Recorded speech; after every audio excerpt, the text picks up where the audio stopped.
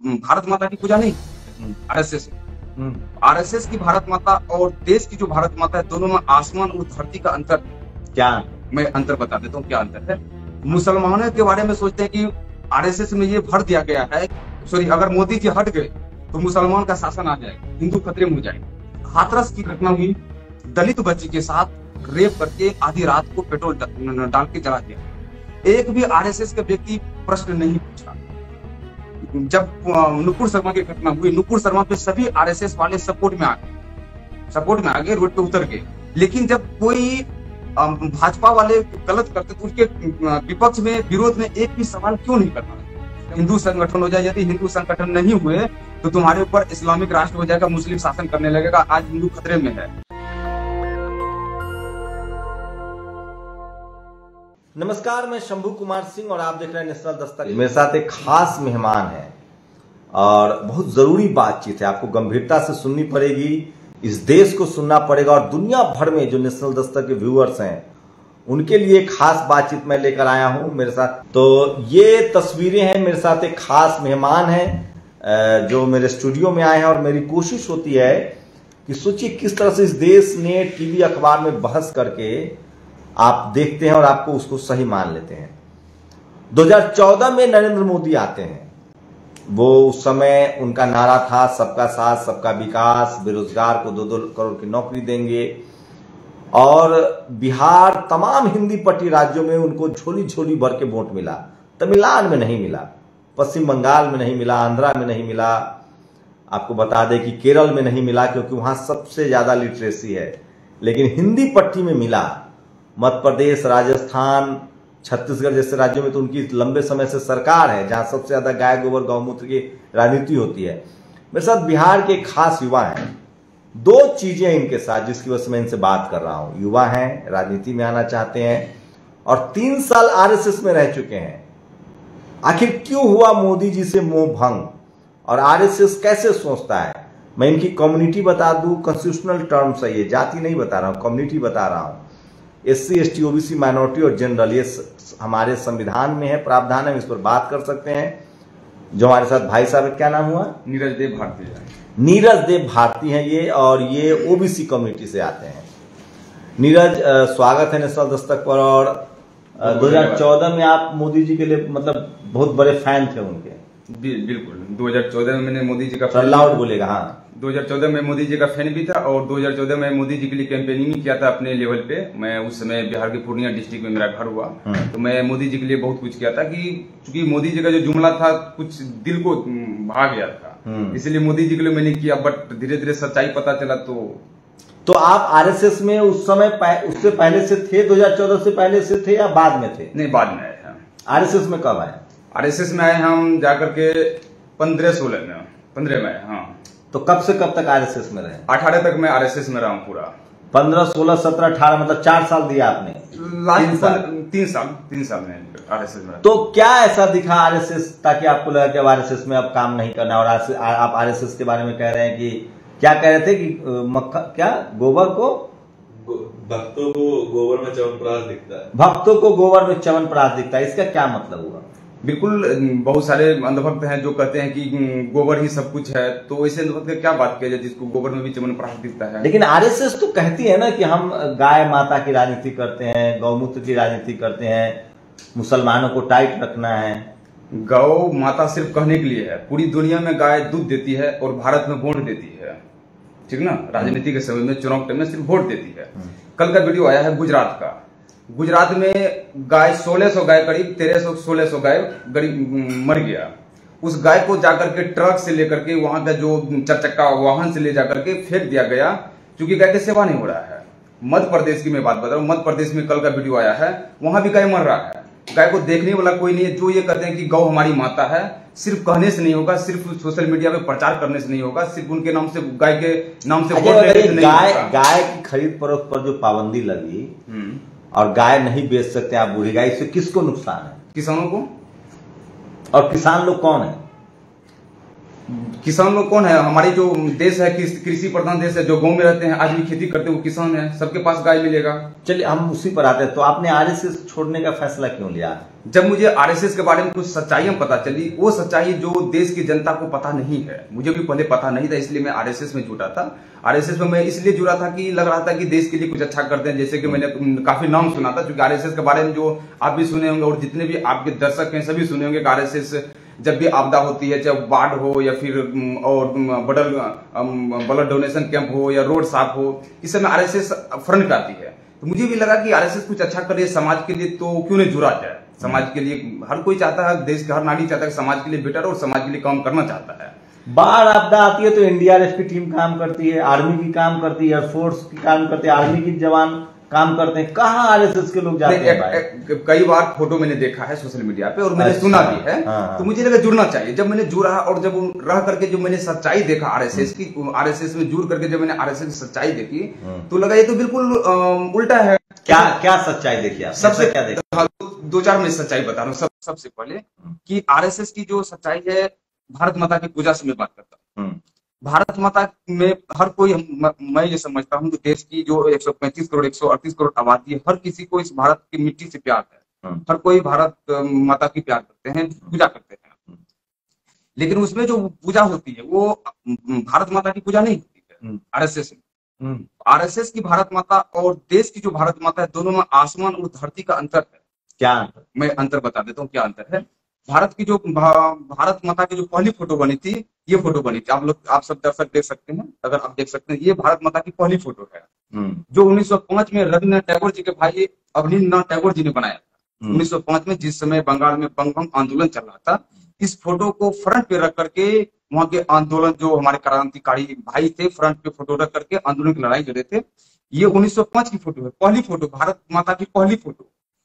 लेकिन भारत माता में जो फ़ोटो है ये फ़ोटो बिल्कुल भी नहीं है। आपने भी देखा होगा सभी दर्शक देखे होंगे भारत माता की जो फ़ोटो आरएसएस में ये बिल्कुल भी नहीं है। आरएसएस में जो जो फ़ोटो है मैं वो फ़ोटो दिखाना चाहता हूँ अब देखिए ये फ़ोटो आप सभी देख सकते हैं आरएसएस में इस भारत माता की पूजा होती है। आप सब देख रहे होंगे? हम्म, इस भारत माता की फ़ोटो है। अब बताइए मुझे इस भारत माता ये जो भारत माता है ये ब्रिटेन से लिया गया है। ब्रिटेन की महारानी थी जिसमें ब्रिटेन में देवी माना जाता है ब्रिटेनिया।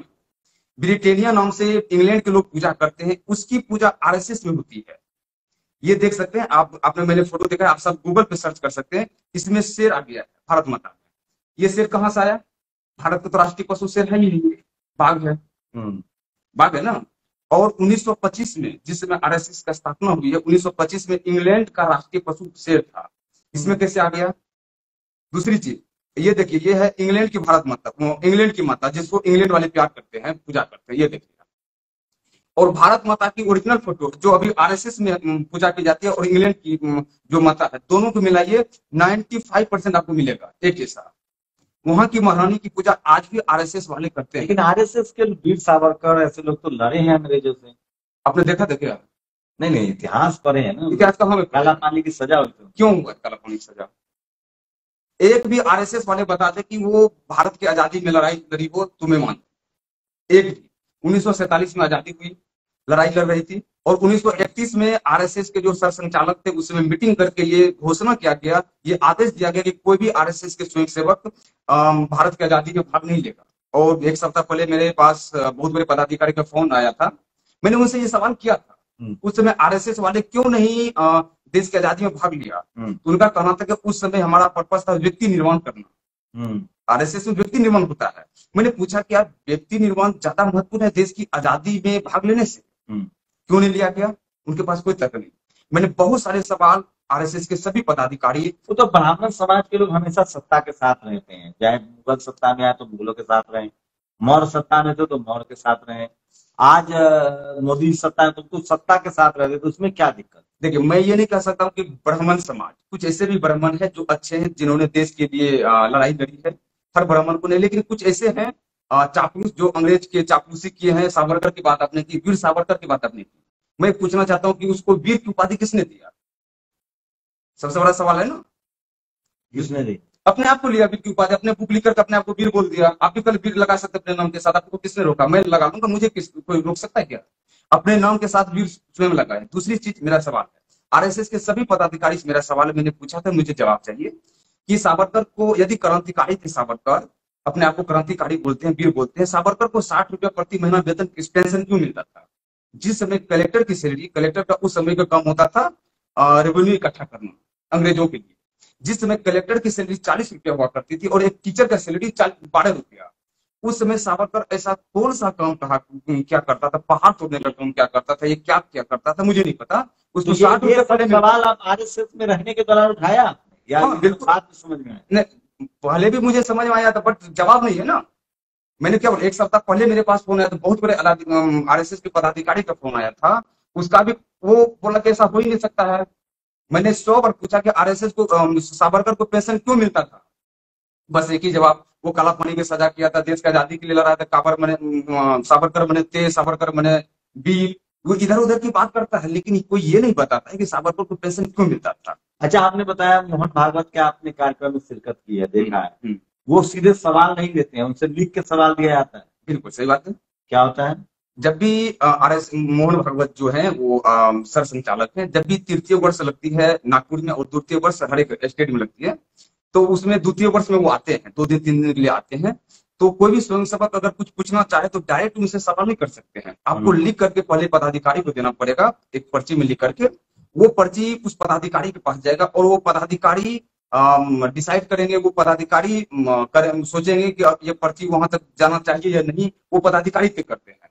अगर आपका सवाल वहाँ तक जाने लायक है तो भेजा जाएगा नहीं तो नहीं भेजा जाएगा। आप नहीं चाह सकते आप चाह करके भी सवाल खड़े होते नहीं पूछ अच्छा सकते आरक्षण के बारे में आरएसएस के लोग क्या गुपचुप तरीके से बात करते हैं? गुपचुप तरीके से बात करते आरक्षण समाप्त हो जाना चाहिए था।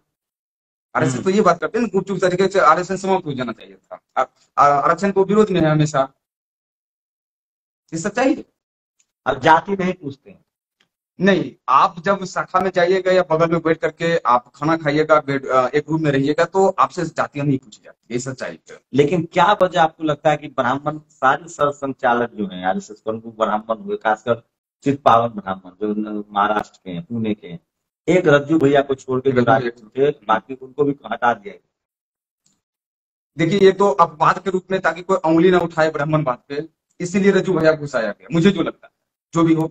लेकिन ये सच है कि जो भी अभी तक सर संचालक बने हैं वो ब्राह्मण नहीं बने। इसको कोई ठुकला नहीं सकता है। अब क्या अंदर की अंदर खाना क्या तो क्या आरएसएस जैसे आप ओबीसी कम्युनिटी से तो ओबीसी में ज़्यादा शेड्यूल कास्ट में ज़्यादा आरएसएस जाने की कोशिश कर रही है?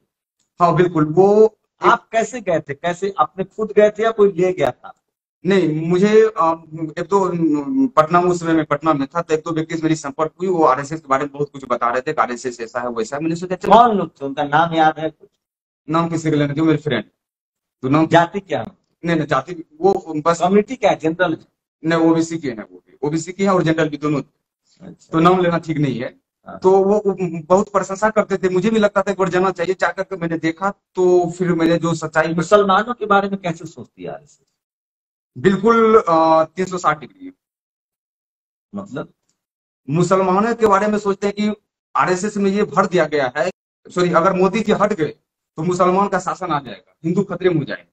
अच्छा तो आरएसएस कहती है कि मुझे बीजेपी से कोई लेना देना नहीं है। मैं एक सामाजिक संगठन हूँ सांस्कृतिक संगठन हूँ। हाँ, तो, लेकिन वो वोट देने के लिए कहती है कि बीजेपी को वोट यदि आरएसएस वाले ये कहते हैं कि मुझे बीजेपी से कोई मतलब नहीं है तो आरएसएस वाले मुझे ये बताएँ कुछ दिन पहले जम्मू कश्मीर में लश्कर का आतंकवाद पकड़ा गया। पूरी दुनिया ने देखा न्यूज़ खबर में चला आरएसएस लश्कर का आतंकवाद कमांडर था वो भाजपा का सेल प्रमुख था। एक भी आरएसएस वाले विरोध नहीं किया वो भाजपा का पदाधिकारी क्यों था? मुझे बता दीजिए। किसी ने क्यों नहीं किया? अच्छा आपने और एक और, और मैं बताता हूँ वो क्यों नहीं किया? दूसरी चीज़ हाथरस की घटना हुई दलित बच्ची के साथ रेप करके आधी रात को पेट्रोल डाल के जला दिया गया। एक भी आरएसएस का व्यक्ति प्रश्न नहीं पूछा। जब नुपुर शर्मा की घटना हुई नुपुर शर्मा पे सभी आरएसएस वाले सपोर्ट में आ गए। सपोर्ट में आ गए रोड पे उतर गए।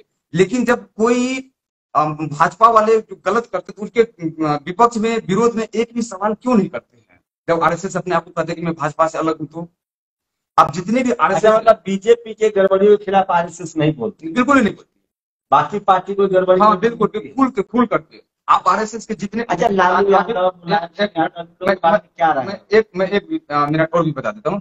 मेरे पास मेरे फ्रेंड रिक्वेस्ट पे बहुत सारे आरएसएस के अभी भी जुड़े हुए फेसबुक पे।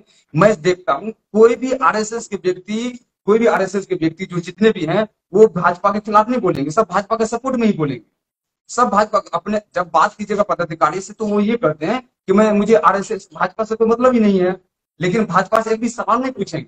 महँगाई इतना हो गई सवाल नहीं पूछेंगे। बेरोजगारी हो गया इतना सवाल नहीं पूछेंगे। इस पे सवाल नहीं पूछेंगे तो मैं कैसे समझू कि आप बीजेपी से तो आपने कब तय किया कि हमको आरएसएस नहीं छोड़ना आप तो आरएसएस दो हज़ार उन्नीस में। क्यों? ऐसा क्या हो गया? है क्या चमत्कार नहीं नहीं चमत्कार नहीं हुआ। उसमें जो मुस्लिम को लेकर के जो बताया जाए तो वो मैंने आपको बताई थी अब्दुल कलाम साहब से भी वो लोग नफरत करते हैं वो मुस्लिम थे।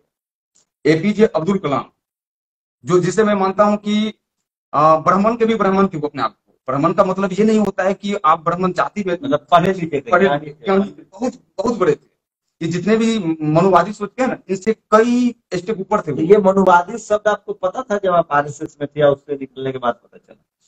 धीरे धीरे मनुवादी सोच का मतलब हो गया ना कि वो जो चाहते हैं वही सही है। वो संविधान को नहीं मानते। बाबा साहब को लेकर क्या रहा है अंदर खाना ये है कि बाबा साहब को सम्मान नहीं करते लेकिन दिखाने के लिए जैसे आज तिरंगा का दिखाने के लिए कर रहे हैं ना इसी तरह अंबेडकर साहब को दिखाने के लिए पब्लिकली आकर के चौदह नवंबर को चौदह नवंबर सॉरी चौदह अप्रैल को होता है ना तो उसमें वो करेंगे पूजा करेंगे फूल माला चढ़ाएँगे लेकिन अंदर से जितना होना चाहिए श्रद्धा वो नहीं होता है। तो मुसलमानों के बारे में क्या कहते हैं कि मोदी के हटते ही मुसलमानों का राज हाँ यदि मोदी जी हट गए मुसलमानों का राज आ जाएगा इस्लामिक राष्ट्र बन जाएगा मुस्लिम से नफरत पूरी तरह से नफरत करते हैं पूरी तरह से। कितनी पढ़ाई लिखाई हुई है आ, मैं ग्रेजुएशन किया हूँ अभी मेरी पीजी चल रही है। क्या नाम बताया था नीरज देव भारतीय नीरज देव है ये ओबीसी कम्युनिटी से हैं ग्रेजुएशन कर चुके हैं पीजी पढ़ाई करें मैं फिर कह रहा हूँ जातिवाद ब्राह्मणवाद मनुवाद की एक ही काट है पढ़ाई लिखाई। आप कल्पना कीजिए जब बीए ग्रेजुएट आदमी आरएसएस के धर्म के जाल में तो आज आप तो हिंदू हैं। आप पूजा पाठ करते होंगे मंदिर जाते होंगे। आपको सनातन मतलब ब्राह्मण धर्म और हिंदू होने में कोई फ़र्क पता चलता है? ऐसे आप आपकी कम्युनिटी का जिस जिस परिवार में पैदा हुए हैं हम्म। आपका कोई घर का पुजारी हो सकता है? अभी तक तो मैंने देखा नहीं है। आपके पास दान पेटी की चाबी आ सकती है? जिस धर्म अभी तक तो मैं किसी मंदिर में देखा भी नहीं। ये सब सवाल कभी आपने आरएसएस में एड्रेस करने की कोशिश की कि पुजारी ब्राह्मण ही क्यों नहीं, मैं ये ये सब सवाल नहीं किया। हूँ मैं ये कहना चाहता हूँ। जाति को लेकर कोई बातचीत नहीं होती हो? नहीं जाति को लेकर के कोई बातचीत नहीं थी ये सच्चाई है। लेकिन मैं ये कहना चाहता हूँ कि किसी को हम्म, सोचिए मैं एक लाइन जोड़ दू। तुलसी दुबे जिसको तुलसीदास के रूप में जानते हैं उन्होंने कभी जाति नहीं बताई अपनी लेकिन सबसे ज़्यादा जातिवादी कविताएँ और श्लोक लिखा। वही संत शिरोमणि रविदास जी महाराज उन्होंने खुल के कहा मैं चमारा। और उन्होंने जातिवाद के खिलाफ लड़ाई लड़ी। तो सोचिए जाति की बात न करना जातिवाद न करना जैसा नहीं है। जाति पर बात करना जातिवाद के खिलाफ लड़ना है। तो तो वहाँ जाति को वो लोग क्या कहते हैं कि हम जात पात नहीं मानते। नहीं वो ये भी नहीं कहते हम जात पात नहीं मानते हैं। वो सब हिंदू हिंदू हिंदू करते हैं। हम्म। हिंदू करेंगे भारत माता के जय करेंगे अखंड भारत के जय करेंगे हिंदू करेंगे। लेकिन मैं ये पूछना चाहता हूँ कि आरएसएस वाले जो हिंदू हिंदू अपने आप को हिंदू करते हैं तो भेदभाव क्यों होता है? आज भी हमारे समाज में हाथरस की सबसे बड़ी घटना है। वो भी तो हिंदू ही थी ना। वो लड़की हिंदू थी ना। हम्म, तो आगे हो जाइए हाँ। वो भी तो हिंदू ही थी ना। उसके खिलाफ उसके जब हाथरस की घटना घटी उसके सपोर्ट में आरएसएस वाले क्यों नहीं उतरे? वो भी तो हिंदू ही थी। कोई आरएसएस वाले या आरएसएस के सर संचालक या पदाधिकारी प्रचार आप आप लोग के बहस में कभी ऐसा नहीं हुआ कि भैया हम भी हिंदू है हमारे आरक्षण का विरोध क्यों करते हैं? नहीं ये इस जब आरएसएस में होता है क्या जब आप उसमें घुस जाइएगा तो उसी तरह उस रंग में आप रंग जाइएगा। हम्म। झूठ को ज़्यादा दिन ज़्यादा बार बोलने से झूठ भी सच लगने लगता है। कोई अच्छा बताइए वो लोग कोई लालच कुछ भी ऐसा देते हैं कि आप ये को नेता बना देंगे या मैं ये मानता हूँ कि हर व्यक्ति के लिए हर लालच से बड़ा देशभक्ति होता है।